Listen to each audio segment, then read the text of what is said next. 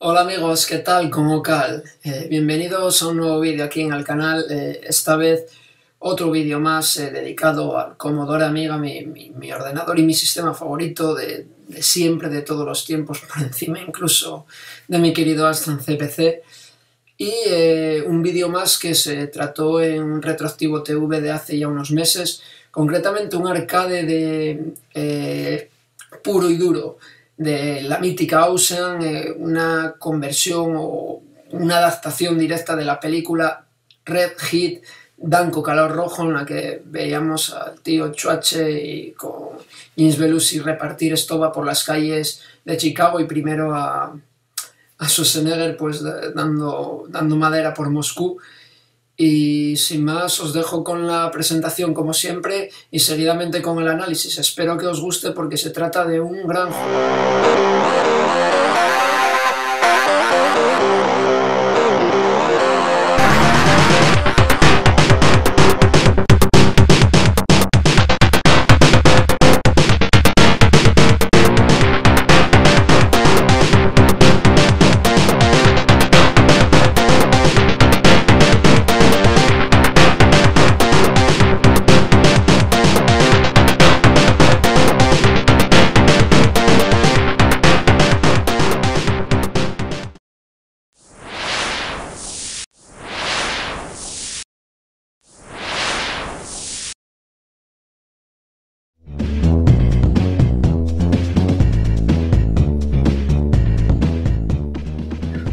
Retroactivos, bienvenidos a un nuevo episodio de Retroactivo TV, soy Bisarma. Hoy os voy a hablar de un videojuego eh, llamado Red Hit basado en la película del mismo nombre de Karotko Pictures de 1988 que aquí se llamó Danko Calor Rojo y a mí es un videojuego que me gusta eh, eh, mucho. Eh, la conversión de dicha película la llevó a cabo Ocean un año después, 1989, y vio la luz tanto en ordenadores de 8 como de 16 bits.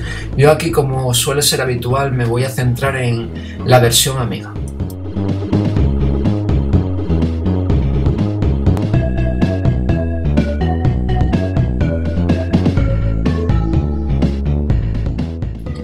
Juego consta de cuatro fases. Una primera fase que transcurre en unas termas de Moscú.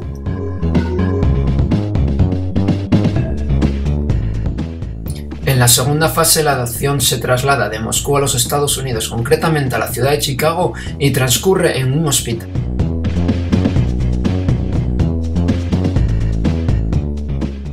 La tercera fase transcurre en un hotel de los bajos fondos de Chicago.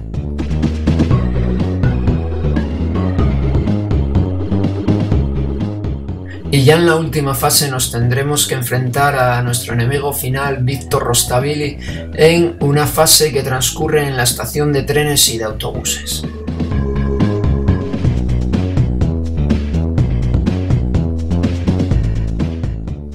Pero vayamos por partes. Eh, primero podríamos hablar de lo que es el argumento de la película. Ahí tenemos como protagonistas principales al amigo Chuache, Arnold Schwarzenegger y a James Belushi eh, en una película de acción de Carolco Pictures, eh, como decía anteriormente, de 1988, de esas que tanto nos gustaban antes, acción a raudales sin parar, en el que esta vez se nos narra cómo el amigo Chuache pues pertenece a la KGB y anda en busca de un traficante de drogas llamado Víctor Rostavili.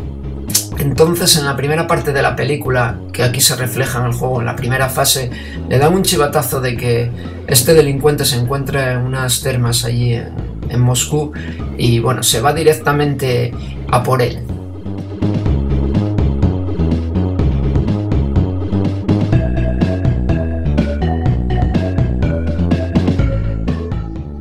Esta primera fase la acción transcurre de derecha a izquierda, todo lo contrario que ocurre en, todos los juegos arcade de la época. Y eh, lo primero que nos llama la atención, aparte de sus detalladísimos gráficos, es que los personajes no tienen eh, piernas, ¿no? se ven representados solo de cintura hacia arriba, algo que como digo, llama mucho la atención y que yo particularmente solo he visto en este videojuego a lo largo eh, de toda la historia. Existe una primera parte de la fase en la que transcurre dentro de las termas y en una segunda fase eh, salimos al exterior con una enorme nevada y bueno, eh, los enemigos eh, no paran de acecharnos. Para defendernos de ellos tenemos nuestros propios puños. Podemos recoger ítems a lo largo del transcurso de la fase que van saliendo ahí representados, que nos subirán la energía y demás, y que podemos coger agachándonos encima de ellos y eh, también eh, podemos esquivar eh, piedras, cristales que se rompen y demás, también agachándonos encima de ellos como habéis visto en esa bola de nieve que acabo de esquivar.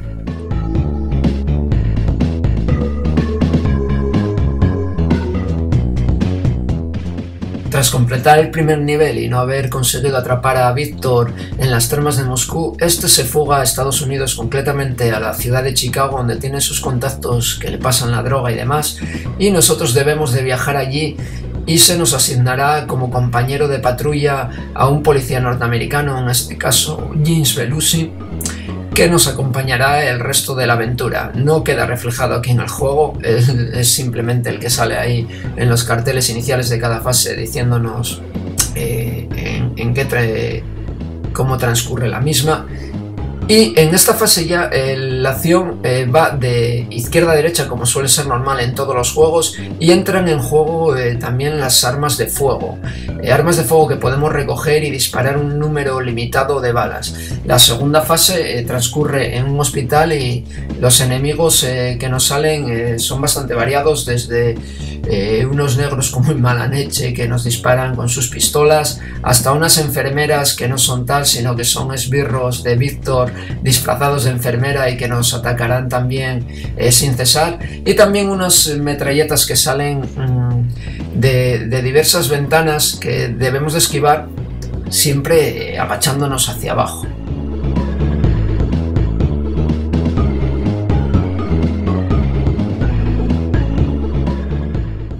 La tercera fase lleva la acción a un hotel de los bajos fondos de Chicago y transcurre, eh, aparte del scroll lateral, como podéis ver, eh, tiene fases eh, intercaladas como un poco más que Operation Wolf, digamos un poco al estilo West Bank, en el que debemos de eliminar a los enemigos que van saliendo de las puertas. aquí vuelve a haber armas de fuego, podemos recargar nuestra pistola encontrando balas por el camino y los enemigos cada vez, son, cada vez son peores. Los niveles, pese a ser solo 4, hay que destacar que son muy largos y los ítems que podemos encontrar, algunos son beneficiosos, pero otros eh, son perjudiciales. Podemos emborracharnos envenenarnos y nuestro personaje responderá de forma eh, bastante limitada.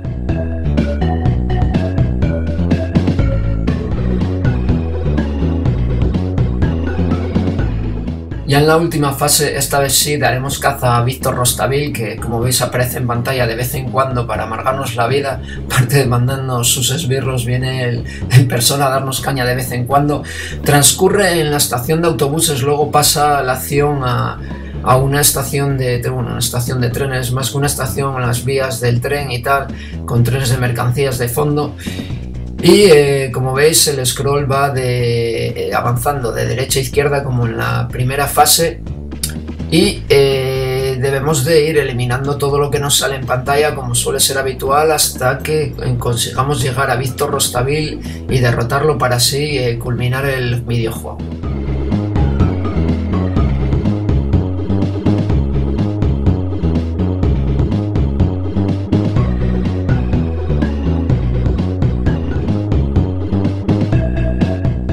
A lo largo de las fases también encontraremos minijuegos que podemos completar o no, según nos vengan gana. Estos son de tres tipos diferentes. Uno es un arcade de dar caña en todas direcciones al joystick, machaca joysticks, en el que debemos de subir una barra para intentar reventar una piedra. Otros dos son de tipo puzzle, en uno deberemos de completar un billete de 100 dólares y en otro una llave. Los minijuegos simplemente son para sumar puntos, pero estos puntos harán que ganemos vidas extras y que nos serán de mucha ayuda para completar nuestra misión.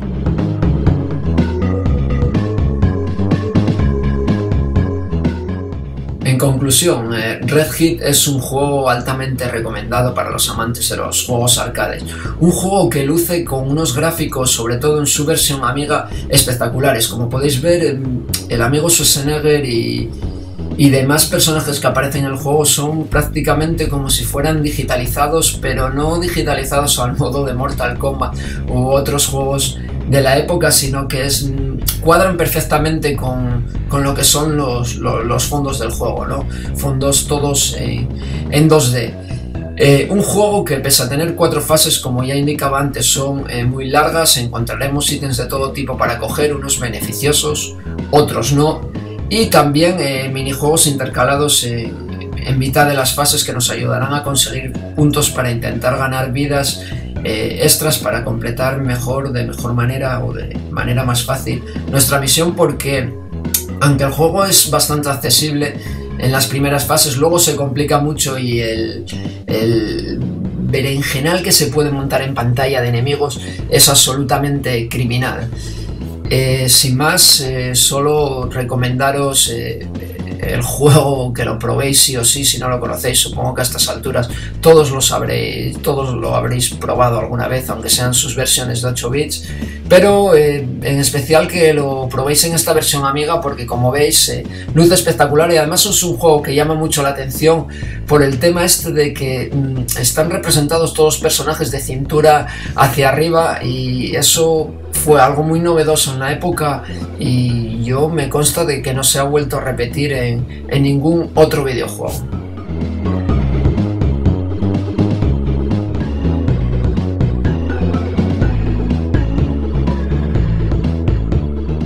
Pues un saludo a todos y hasta el próximo capítulo de Retroactivo TV. Voy a ver si parto las piernas aquí a unos cuantos delincuentes de los bajos fondos de Chicago porque esta comedia no, no, no puede seguir. Venga, adiós, nos vemos en el próximo capítulo.